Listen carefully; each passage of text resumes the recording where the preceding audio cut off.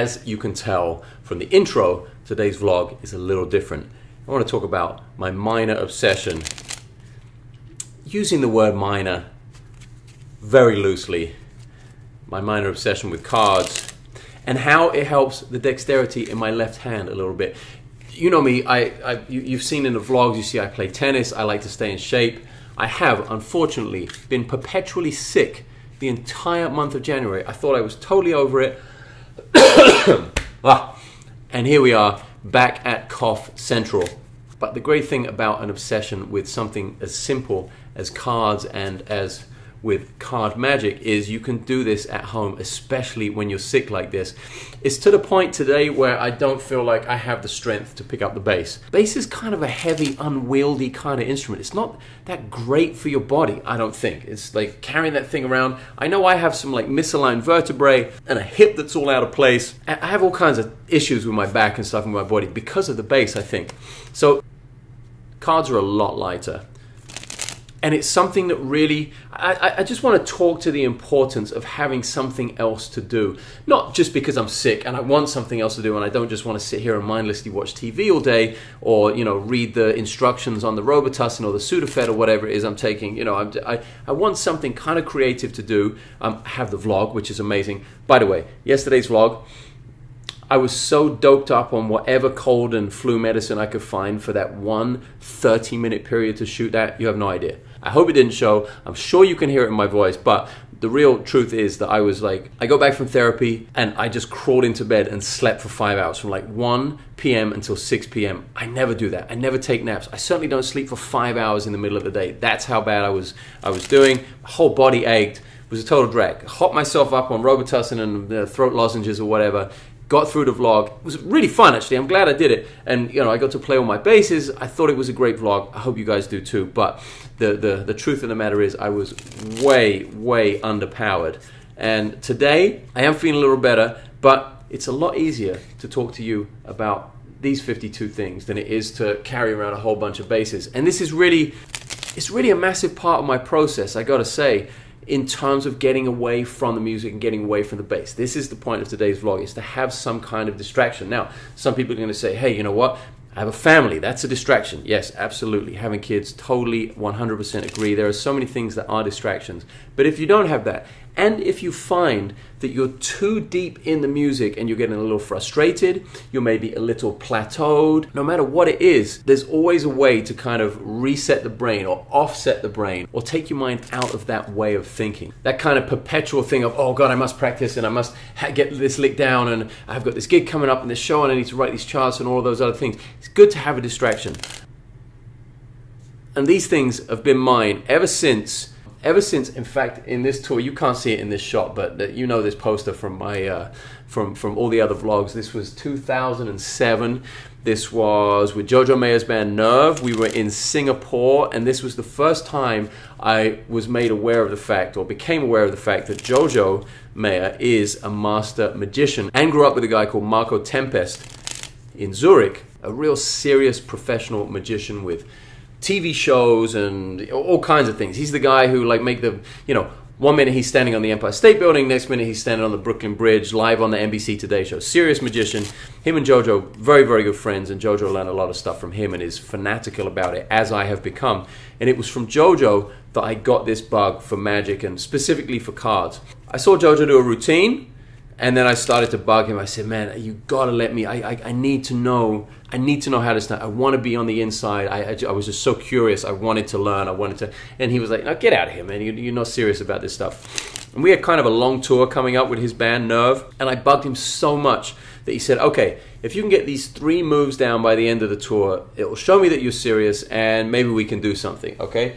Um, I'm not even sure if I can do the third one still because I'm a little bit out of practice. That's what today and being sick is uh, is helping me with is getting some practice in. The first one was a really simple single cut with one hand. That's called a charlier.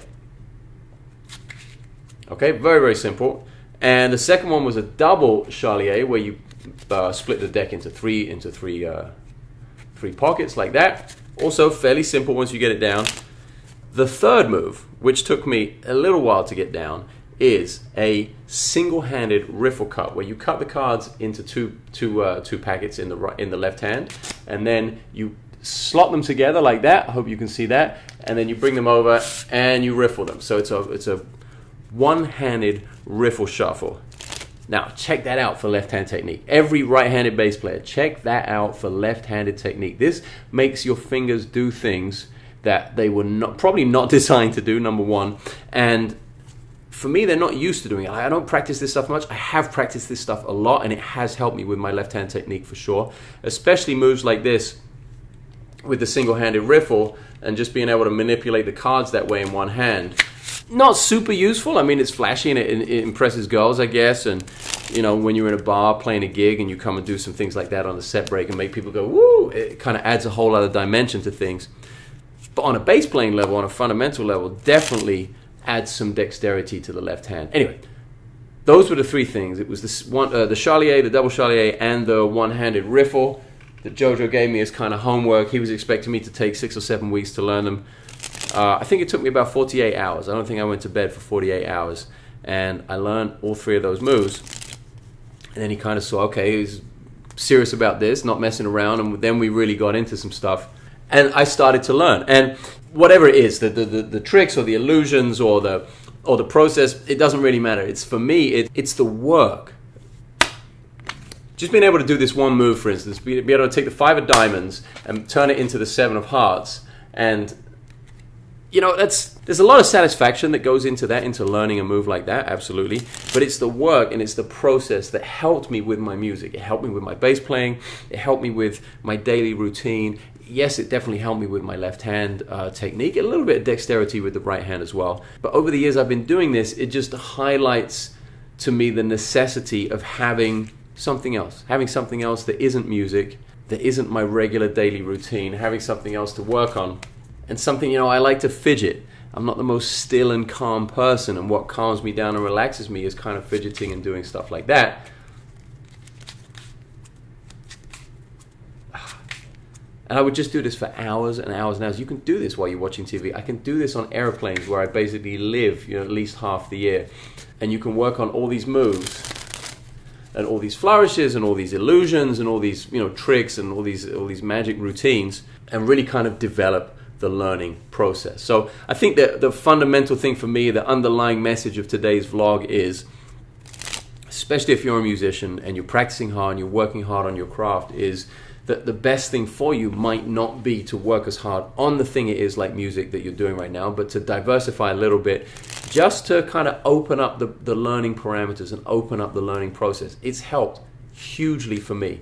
And you know, cards is one thing, tennis is another. You guys know how much uh, you know I dig tennis and I play every day and I take it very seriously. So it's having those outside things, the importance of having those outside things has just you know, it's really grown with me over the years. It used to be so tunnel vision, you know, like just 9, 10, 11 hours a day just with the bass and transcriptions and Pat Metheny this and Michael Brecker that and Charlie Parker and this thing and that thing and gigs and rehearsals and you know, practice, the whole thing. It just used to be relentless and non-stop, which is fundamentally important if you want to be great at what you do. But the older I get and the less here it is. The older I get and the less childlike I am, and we are the older we get, the less sponge like we are in terms of learning. Now, I don't. This is not some scientifically proven fact. I am not quoting case studies. I'm just talking about my personal experience.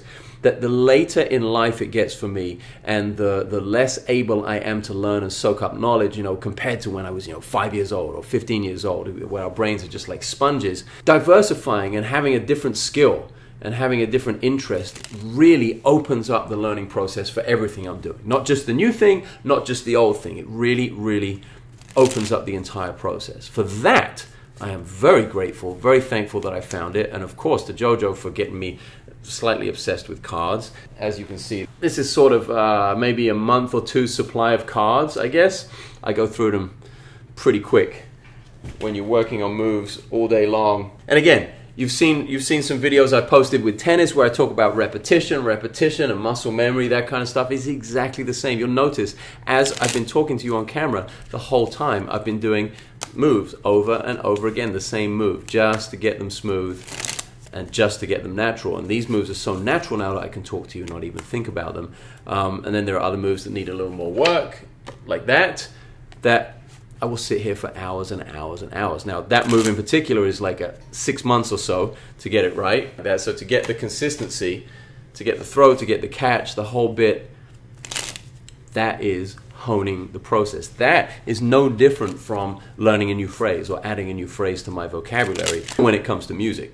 To me, it's all vocabulary. To me, it's all language. There are so many elements of just card magic. Now, we can talk about close up magic, stage magic, prop magic, uh, all, all, kinds of things, mentalist magic. There, there are so many different varieties. But just talking about cards, there are there are books, there are videos, there is instruction, there is a legacy, there's a history of language and vocabulary within the context of this art, um, which is just astonishing. That's what's fascinating about it to me.